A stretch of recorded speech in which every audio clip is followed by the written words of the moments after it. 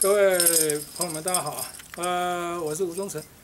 哎，我这边再再聊一个哈，老吴管理学里面有一个叫所谓的个人品牌。呃，个人品牌如果说讲起来的话，应该讲说是所谓的 PIS 哈，就是个人识别体系 （Personal Identification System），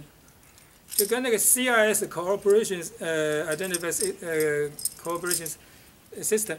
呃一样，就是简单讲就是说，有有一种叫企业识别体系，就是大家都穿着穿着同样的制服嘛。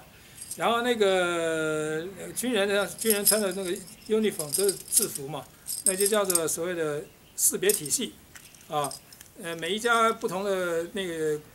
那个有那个汽车公司，它都有不同的颜色，你一看老远一看你就知道啊，那个那个是哪一家的那个呃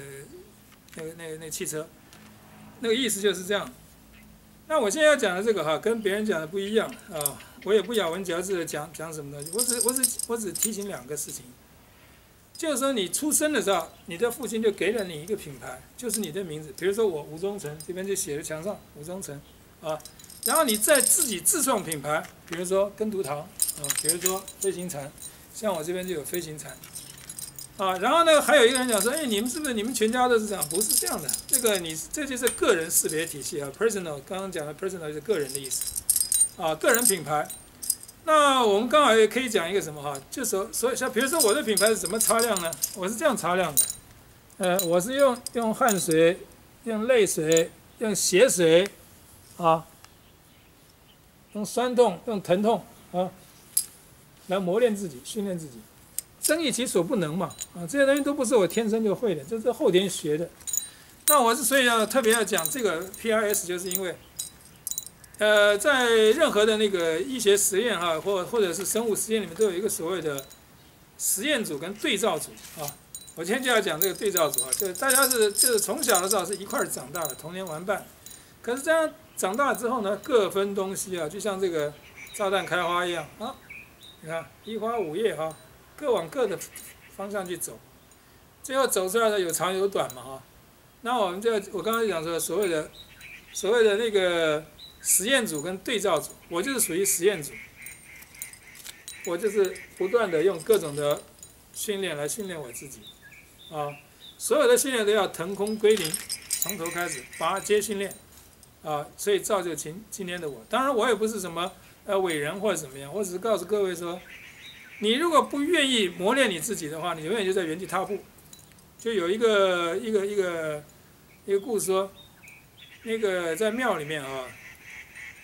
呃，晚上夜深人静的时候，庙里面那个地，那个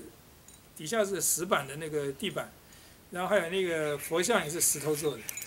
那个地板，石头地板就跟那个佛像讲说：“他说兄弟啊，我们两个人都是在同一个深山、同一块岩石里面踩下来的，啊，我现在变成地板，每天被万人万人践踏。”而你呢？你变成佛像，你每天是一大堆万人在那边跪在你面前，跟你膜拜、顶礼膜拜。那个作为作为那个佛像的那个石那个石像的那个那个菩萨，他就讲说：我们两个人是同根出生，没有错，都出于荒山野地。可是你只有经过简单的打磨，就变成一块平板。我是经过匠人的千锤百炼。才成为我今天这个这个这这这一套经呃这个呃这一套这一套行头啊，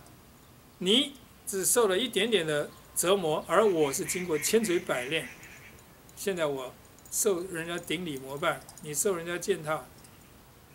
又有什么值得怨值得呃抱怨的呢？啊，所以我认为哈，年轻人我鼓励年轻人哈，老年人已经行将就木就算了。你还是年轻人的话，赶紧抓紧啊，抓紧你的青春，锻炼一下自己，啊，不要交白卷。这是我年轻的时候，啊，尽量去尝试啊，尽量去尝试各种活动。以上就是我跟各位今天跟各位分享所谓的 PRS 个人识别体系啊，我这个非常明显的个人识别体系哈。走在路上你马上就可以认出我了，不要一秒钟。以上跟各位分享我的老吴管理学中间的个人识别体系 PRS，谢谢。